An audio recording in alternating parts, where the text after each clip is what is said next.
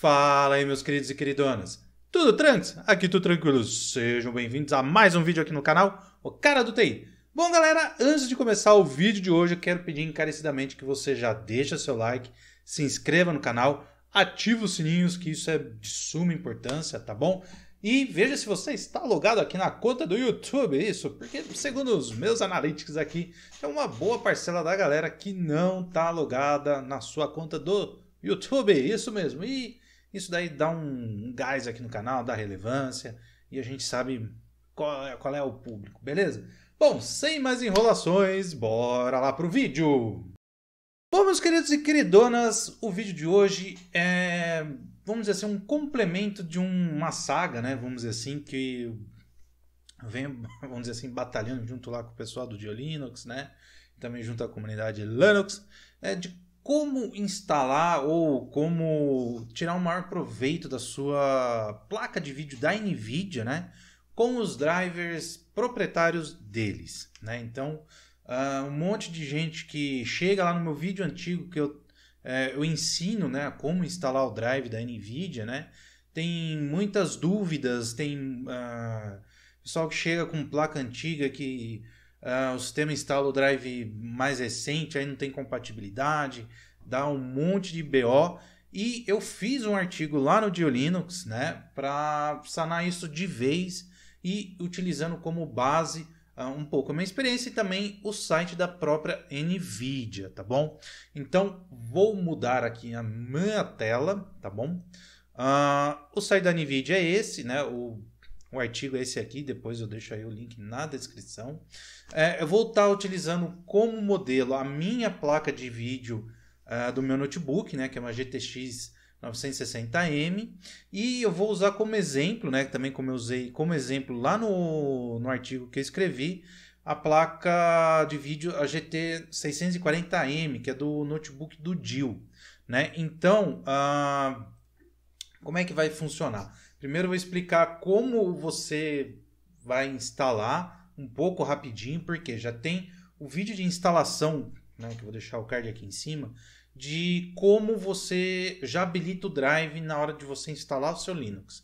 Né? Então, é uma caixinha que você é, faz um check, né? clica nela, que ele já vai instalar o Drive para você e vai fazer todo o procedimento, tá bom? Essa explicação de como instalar. Agora a gente vai ver se realmente instalou o Drive ah, para sua placa de vídeo, tá ok? Então, uh, a primeira parte eu já até deixei aqui aberto, você vai abrir o drivers, isso mesmo, o drivers, uh, por exemplo, do Ubuntu ou do Mint, né, a base do Ubuntu, ou na sua distribuição que você estiver utilizando. Então, por exemplo, Fedora, OpenSUSE e tal. Então, você vai nessa parte para ver se o drive está instalado. Por exemplo, no meu caso, é a versão 440 mais recente e que minha placa suporta, tá ok? Uh, quando eu instalo o sistema em si, ele vem habilitado no OVL. Se for fazer coisa básica, beleza, toca o barco e show de bola. Mas se for fazer, por exemplo, jogar, fazer renderização de vídeo ou qualquer outra coisa, ele não presta, vamos dizer assim, né? Ele é muito limitado.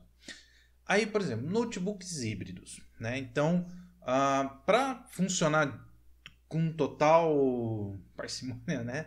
Ou se não com, com total é, fluidez, com todos os recursos, o, a sua placa de vídeo tem que ter suporte pelo menos o Drive 435, se não me falha a memória. Né? Então, uh, também vou deixar lá no link né, do, do artigo que eu fiz, também tem lá para ver se, se, a sua placa suporta ou não e tudo mais. Então aqui, se você, uh, na sua, por exemplo, no meu tem 440, 390 que é a, a versão Legacy, né, vamos dizer assim, e aqui o Drive 435 é exatamente porque a minha placa de vídeo suporta a, a tecnologia né, Prime, né, que é onde você faz o offload e tal. Toda aquela novela das híbridas está chegando ao fim, né? Mais uma coisa, por exemplo, o Drive 450 vai habilitar, por exemplo, o pessoal da série GTX 1000, né, acima da série 1000, poder utilizar dois monitores que estava tendo essa incompatibilidade, né? Mas voltando aqui ao meu caso, então, por exemplo, o meu é 440, né, que está nos repositórios do Ubuntu. Eu já vi lá no site da Nvidia que ele aceita o 450, só que eu vou esperar o Ubuntu disponibilizar. Mas você pode instalar, instalar o drive sua conta e risco, tá? Você segue lá as orientações da NVIDIA, tranquilo. Mas vamos esperar o Ubuntu, né, no meu caso, a disponibilizar. A gente viu, tá aqui certinho, mas você viu que tá com algum problema, não tá dando, uh, como é que fala, performance e tudo mais. A gente vai entrar no site da NVIDIA e vai conferir quais são os drives disponíveis para sua placa de vídeo. Né? No meu caso, eu vou, eu poderia utilizar essa parte aqui de cima, aí ele vai me dar o drive mais recente. Então, por exemplo, aqui o meu não é o Titan, é o GeForce. Aí a gente vem aqui na série 900M, né? Aí aqui eu vou mudar para Linux, né? Ah, aí aqui eu vou pegar a minha que é 960, tá aqui, tá? Aí eu vou colocar procurar. Tá vendo? Ó, já deu 450, então muito, muito em breve, né? Ou quando você já estiver assistindo esse vídeo, uh, já vou estar com o drive novo, tá? Mas a gente vai fazer o quê? A gente vai vir aqui, ó, betas e archived drivers, tá? Isso quer dizer o quê? Ele vai dar todas as versões, né? A gente faz a rebusca, né? Então a gente vem aqui, por exemplo, no meu caso, vou aqui na série que eu quero, né? Então vou colocar aqui Linux 64 bits Aí eu vou colocar a minha, que é a 960, tá ok?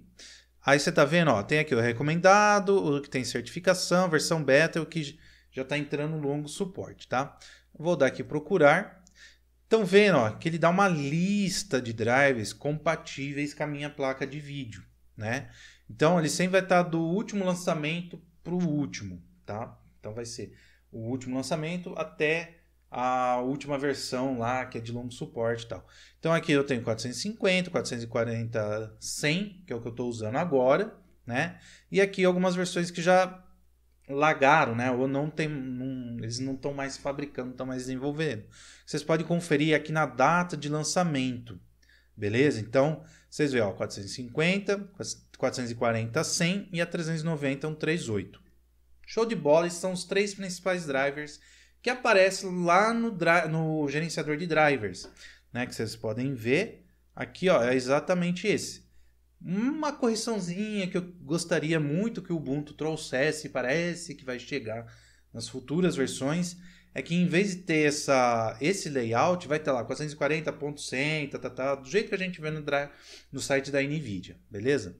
Aí vamos supor, vamos supor que você tem uma placa de vídeo antigo, igual a do, do meu amigo Dio, lá, a GT 640M, né? Aí o que a gente vai fazer? Aproveitando aqui, a gente pode procurar, ó, por exemplo, a gente pega aqui na série 600, ó, a gente vem aqui, tá? GT 640, peraí, só um minutinho. Oh. Oh. Deu um, um tilt aí. Peraí, só deixa eu ver. Então a gente vem aqui na 640, ó, essa daqui, dá um procurar. Tá vendo, ó? Ele tem, ó, o último drive disponível 390. Isso mesmo. Então quer dizer o quê? Que, por exemplo, você está utilizando um notebook híbrido e ele apareceu que o último drive é o 390.138, quer dizer que a tecnologia offload não vai funcionar de uma forma uh, como a Nvidia prometeu. Eu já vi muitos casos, né, que tá nesse parâmetro, a pessoa conseguiu instalar o drive, aparece lá o on demand, do jeito que eu já mostrei aqui várias vezes no vídeo. Só que, por exemplo, a placa da Nvidia fica ligada toda hora.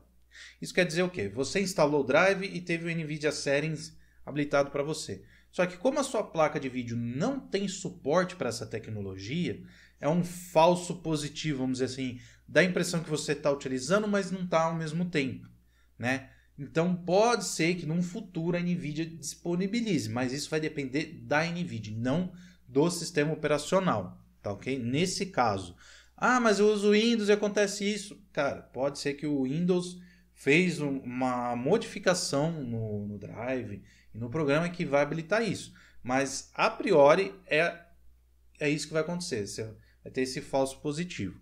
Então, por exemplo, na, na hora que você tiver lá no seu gerenciador de drive, pode ser que aqui apareça o 390 e qual que o outro?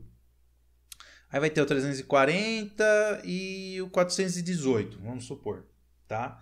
Em vez de ser esses aqui do jeito que está mostrando no meu gerenciador. Então você vai escolher o 390, aí você vai ter toda a performance que a sua placa de vídeo foi desenvolvida para a NVIDIA. Beleza? Ah, mas o meu drive, na hora que fez a pesquisa aqui, colocou 340 ou 304. Aí, meu pequeno gafanhoto, aí a sua placa é muito, muito antiga. Infelizmente. Aí, em vez de usar o drive proprietário, aí você vai utilizar o Noveal. Ah, mas eu vou conseguir jogar? Muito provavelmente não. Você vai conseguir alguns joguinhos, mas para você não ficar sem uma resolução, sem alguma coisa uh, de drive, ele, aí, é melhor você estar tá utilizando Novel. Isso foi até a própria NVIDIA que já recomendou que placas muito antigas uh, se utilize o drive uh, open source. Tá? Então, uh, se, pegando aqui o parâmetro, então se você tem uma placa de vídeo mais nova, sempre tente ver se está compatível uh, nas notas de lançamento, se a sua placa de vídeo está lá. Tudo isso que eu estou falando está no artigo que eu escrevi, está tudo linkado, bonitinho, tá? Então, uh, prestem muita atenção. Deixa eu voltar para cá. Então, prestem muita atenção na hora de for fazer a instalação, porque eu já vi muita gente que tem placas de vídeo antigas com drive novo, ou placas novas que não pega o drive certo. É só conferir qual a versão que está puxando. Beleza? Não, não tem mistério, galera. É só fazer essa conferência. Uh, ah, você quer estar tá sempre atualizado e tudo mais? Aí você tem que ver, por exemplo, o PPA você vai estar tá puxando certinho. Ah, vou querer instalar o ponto .run. Aí você, por exemplo, o ponto .run eles têm um readme ali. Você uh, faz a passo a passo ali. Eles já avisam, ó, é preferível que você utilize a versão disponibilizada pela sua distribuição, porque é, tem todas as coisas. Mas se você quiser, você pode fazer na unha. Beleza, meus queridos queridões? Espero que o vídeo se, esteja sendo útil para vocês. Recomendo aí para quem tem drive da NVIDIA e estava perdidão. Não tem muito mistério. Só fazer aquele check ali no comecinho da instalação, que é chuchu, beleza.